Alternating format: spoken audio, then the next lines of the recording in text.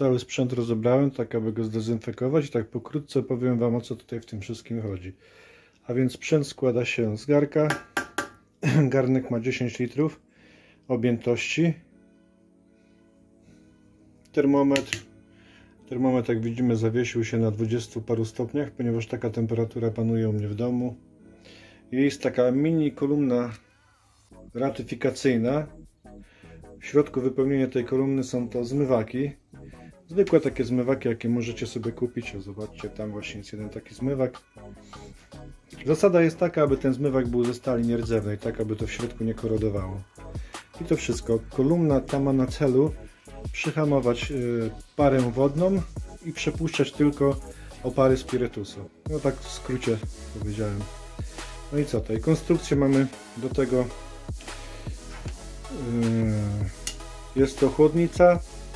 Chłodnica została zakupiona chyba w sklepie Mrówka, jak się nie mylę. Do tego mamy termometr. Czujnik jest tutaj na, na czubku chłodnicy. On po prostu mierzy nam przepływ pary, mierzy nam temperaturę przepływu pary na szczycie kolumny. Także musimy wiedzieć, że Wyróżniamy dwa rodzaje spirytusu. Jest spirytus metylowy i etylowy. Może jest ich więcej, ale nas interesują tylko dwa.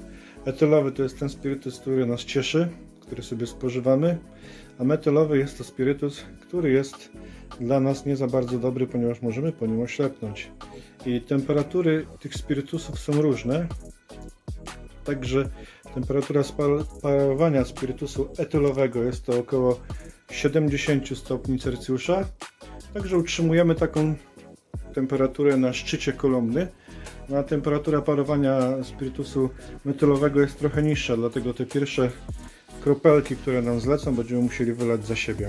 Dobra, przystępuję do złożenia sprzętu. A teraz może trochę powiem na temat sprzętu, jaki będziemy używali do tego, aby przedestylować tutaj ten oto zacier. No zacier już trochę leżał na strychu, on się na pewno już przejadł, zaraz badamy. Zobaczcie, on jest krystaliczny. Zapach jego to jak takie francuskie wino. O, tutaj mamy miarkę, widzicie. No i sprawdzamy, czy jest przerobiony cukier. Jak widzimy, cukier jest przerobiony, także nie ma go ani grama w środku. Spróbujemy. No, smak jest taki winny, gorzkawy, tak jak dobry zacier.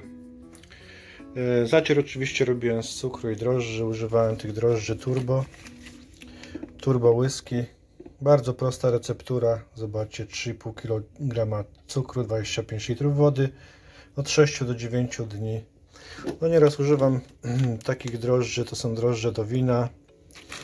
No i później wiadomo, będę, będę używał płatków węglowych. Są, yy, przepraszam, płatki dębowe. Są to płatki, które Kupiłem na eBayu gdzieś tam z Rotterdamu. No będziemy potrzebowali też alkoholomierza. Musimy wiedzieć ile procentów ma nasz trunek. No jeszcze przed tym jak robię zacier to tak samo sprawdzam ORP wody i sprawdzam tak samo yy, sobie alkaiczność wody, czyli pH. Będziemy potrzebowali pompkę. No tą pompkę kiedyś używałem. To jest taka zwykła pompka, ona jest do paliwa. Po prostu była nowa, zamontowałem ją. Ona tak dziwnie pracuje, ale jakoś tak mnie za bardzo ona nie cieszyła. Yy, do ostrość. Do przelania tego zacieru stąd tutaj użyję pompki takiej turystycznej. Zwykłej pompki do wody. A do chłodzenia użyję pompki akwariowej. No także nie będę pokazywał Wam jak to przelewam, no bo to chyba każdy wie jak to się robi. Zaraz przystępujemy do roboty. Do kotła już wlałem 8 litrów zacieru. Chodzi o to tak, aby tutaj była przestrzeń dosyć duża, aby para mogła sobie swobodnie przechodzić do kolumny destylacyjnej, tak aby swój zacier nie zwiększył swojej objętości i żeby nam nie wchodził tutaj do kolumny, bo to nie jest skazane. No i co teraz? No włączam piecyk sobie. Na razie włączam, włączam go na fulla. Gdyż zanim skończę składać wszystko, to akurat zacier dostanie tą swoją temperaturę i nie będę musiał długo czekać. No dobrze, aparatura już została skręcona, pod kotłem się gotuje, czekamy teraz na temperaturę. Musimy wiedzieć, że temperatura y, parowania alkoholu etylowego to jest około 78 y, stopni Celsjusza i ona później się ustabilizuje, idzie delikatnie w górę. Chodzi o zawartości, jak, jaka jest zawartość w alkoholu w zacierze, który destylujemy. Im mniejsza zawartość alkoholu, tym większa będzie temperatura. Także jak temperatura tak się ustabilizuje już prawie do 100 stopni, znaczy, że w środku mamy tylko wodę i musimy e, proces destylacji po prostu zakończyć. Wygląda to tak. Tu mamy już przewody podłączone. Jeden przewód tutaj widzicie jest podłączony do spływu wody z, kolum z kolumny chłodzącej i tutaj drugi przewód jest to napełnianie wody. Tam jak wspomniałem jest zasilacz tutaj do tego termometru. Tu jest zasilanie pompki. Pompka znajduje się w wiaderku. Na razie nie dolewam wody. Jak rozpocznę proces destylacji po prostu puszczę powoli wodę. O, może tak i niech się po prostu destyluje. Możemy także włożyć kawałek lodu i w ogóle wtedy wody nie dolewać, nie? Dobrze jest przygotować sobie takie ze dwie, trzy cegówy cegówy lodu w lodówce i po prostu włożyć sobie potem do tego garka, jak się rozpocznie proces destylacji i wtedy oszczędzamy na wodzie. Wiadomo, woda, woda w Polsce jest droga, wiem o tym. Tutaj w Anglii akurat płaci się ryczałtowo, no ale wiem, że jest droga woda, także lepiej to zrobić właśnie w ten drugi sposób, przygotować sobie lód, dwie kochy lodu, zalać jakieś półtora litrowe butelki po prostu wodą, jeden dzień przed destylacją i to będzie bardzo dobre. No dobrze, załączymy pompę i sprawdzimy, czy działa chłodzenie kolumny. Pompa już została załączona. Jak widzicie, woda napełnia kolumnę chłodzącą. No i zaraz powinna się wylewać z kolumny. Ona ma, zasadzie, ona ma taką zasadę schłodzić parę alkoholu, o parę alkoholu, tak aby się skropliły i po prostu wleciały tutaj nam do tego pojemnika i cieszyły nasze oko. Oczywiście spływ wody kierujemy do pojemnika z wodą, tak aby był obieg. No i w ten sposób przygotowany obieg chłodzenia pary spirytusu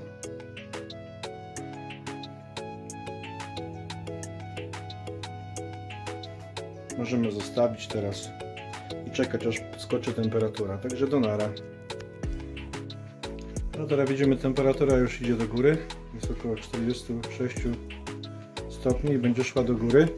Już zaczyna się nam destylować, więc włączam, włączam chłodzenie. Zapalę Wam światło, to sobie zobaczycie jak to idzie.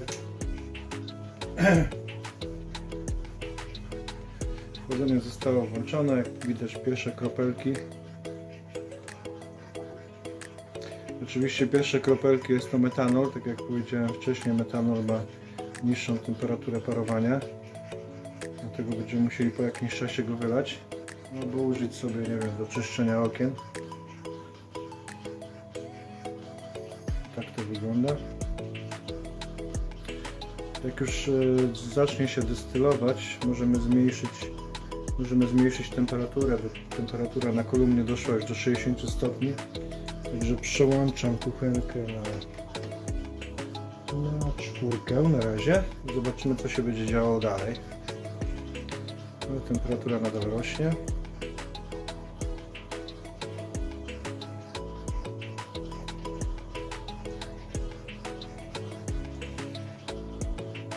Myślę, że ilość jaka, ilość, ilość jaka wyleciała wystarczy, abym to wylał. Uch, jakie to mocne. Nie pijcie tego nigdy.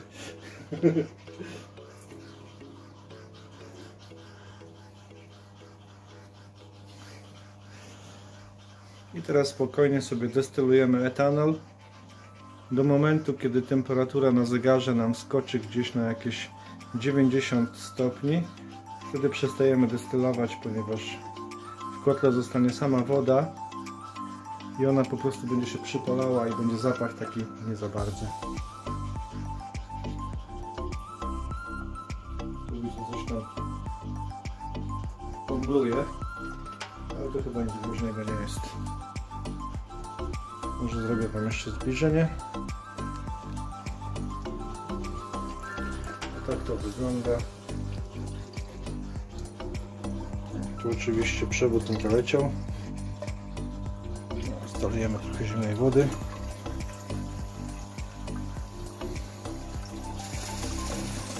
Po prostu dolewamy wodę i co jakiś czas możemy ją dolewać, albo tak jak powiedziałem wcześniej, możemy użyć sobie lodu, który wcześniej przygotowaliśmy w lodówce.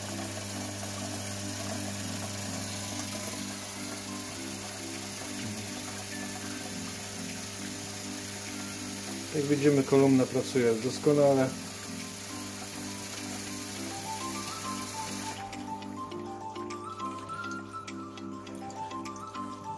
Wygląda to w ten sposób. Temperatura jest 68,1 stopnia. Temperaturę mierzymy tutaj w tym miejscu na samej górze kolumny. Zmywaki spisują się bardzo dobrze, zatrzymują nam parę wody, przepuszczają tylko parę alkoholu. Bynajmniej taki jest plan. No, wygląda to tak. Także do zaraz. No, destylator pracuje w miarę stabilnie. Temperatura 68-69 stopni. Sprawdziłem ile tam spirytusu jest, może zobaczycie tutaj. Jest w granicach 70%. Także nie jest źle, bo powiem Wam, zacier był robiony na whisky.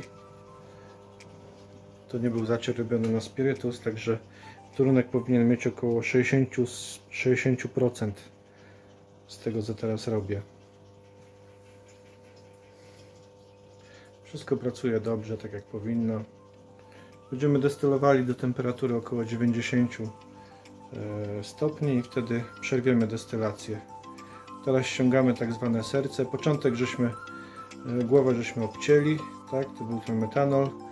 Teraz jest to całe serce, co jest najlepsze, no i później obcinamy ogon tak samo. Ogon też można przedestylować, ale nie, nie będzie służył do picia, będzie służył do następnej destylacji, ponieważ on już zacznie śmierdzieć. No, zrobimy taki test ogniowy tego spirytusu, bo musicie wiedzieć, że bimber nawet, taki 80% może służyć jako paliwo. Amerykanie chyba na Filipinach używali bimbru, wlewali do samochodu. Normalnie te samochody sobie jeździły na tym bimberku, nie miały problemu. W przyszłości będę chciał zrobić właśnie taki eksperyment. Nie wiem czy to widać. Widać. Oczywiście z ogniem uważajcie blisko takiej aparatury. Nie róbcie tego w domu, ok? Ja zrobię, ale wy nie róbcie. Teraz zgaś światło jak. Zobaczcie, taki czysty etanol. On się pali bardzo ładnie niebieskim ogniem. Może nam posłużyć... Może nam... O, o cholera, zaraz. O kurwa, weź to zgaś. Weź to przydepczy, no.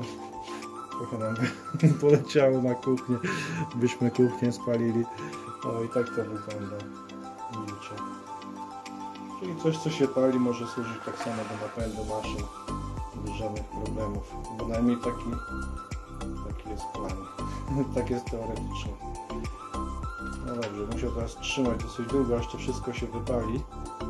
No możemy sprawdzić w ten sposób swój zacier. Czekamy aż wypali się wszystko. Jeżeli zostanie jakiś syf na łyżce, czarny, wiecie, taki kryjący się, coś jak przypalony cukier, to znaczy, że zacier nie, nie jest czysty krystalicznie, że coś tam przedostało się do kolumny, no i to będzie nam śmierdziało. To będzie nam dawało taki niespecjalny smak. No zaraz zobaczymy, niech się to wszystko wypali i zobaczymy, czy na łysce coś zostanie. No wypaliło się, dobra, weź zapal światełko. No, widzicie, łyżka jest w miarę czysta. Widzę, że, że jest ok. Eksperymenty.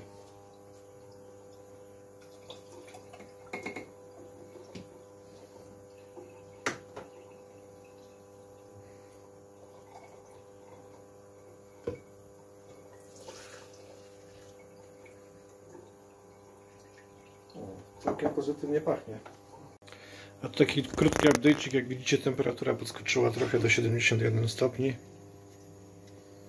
Także wszystko jest ok. Trunek jak widzicie jest ładny, krystaliczny, zbliża się do litra już. Zawartość alkoholu jest około 70-60 stopni. To ma być taka mocna whisky. A jak coś się wydarzy, to się odezwę. Jak widzimy zawartość alkoholu jest około 70 stopni. No już się zbliża do 60. Mierzymy to w ten sposób, że wkładamy alkoholomierz do tej fiolki, no i tą fiolkę później do tego pojemnika i alkohol, który przelatuje pokazuje nam jaką zawartość ma.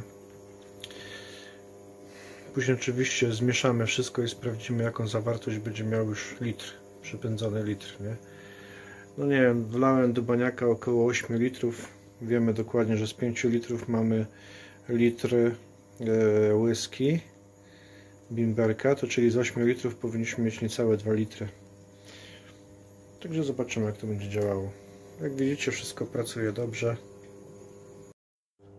Temperatura jaką mamy na górze kolumny jest to 71,7 stopnia, czyli mamy około 72 stopni. Teraz sprawdzimy zawartość alkoholu w trunku, który destylujemy. No to tutaj mamy, widzimy, jest około 50 stopni.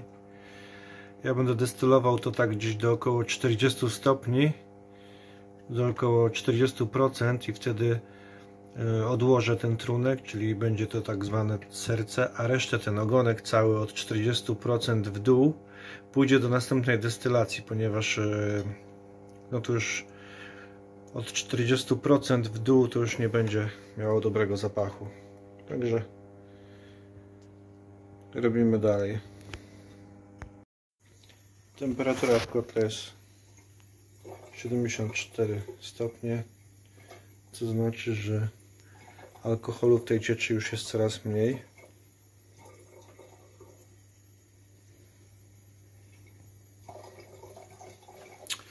Alkoholomierz wskazuje nam teraz, proszę bardzo, około 40%, 40% także na tym bym zakończył tą całą destylację.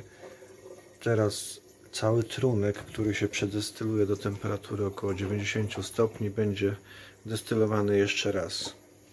A tu mamy trunek, który jest zdatny do picia, który zaraz przeleję do butelki, dodam do tego e, dębowych płatków, no i będą się przygryzały.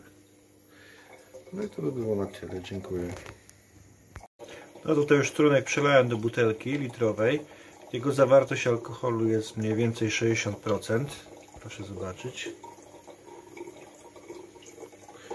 Także będzie taka zdrowa, mocna whisky. Nie będę dolewał wody do tego, ponieważ ja lubię takie mocne trunki. Dosypię tylko parę płatków dębu i będzie ok. A tu mamy efekt końcowy, proszę bardzo. Z 8 litrów zrobiłem tutaj literek. No i tutaj ja wiem, może niecałe pół litra. Czyli 1,5 litra fajnego trunku, 60%, 60% tak jak pokazywałem wcześniej. Tutaj już zasypałem płotkami dębu. Już widzimy jak powoli sobie tam się unosi taki kolorek, który ten kolorek właśnie mm, pochodzi od wędzonego dębu. I to będzie taki smoked whisky, taka dębówka. Bardzo dobry smak. Tak gdzieś po dwóch tygodniach będzie nadawała się do picia. Będzie miała fajny kolor, pokażę go zresztą, no nie? A tam dalej robi się ogonek, ale tak jak powiedziałem, ogonek pójdzie sobie do następnej destylacji.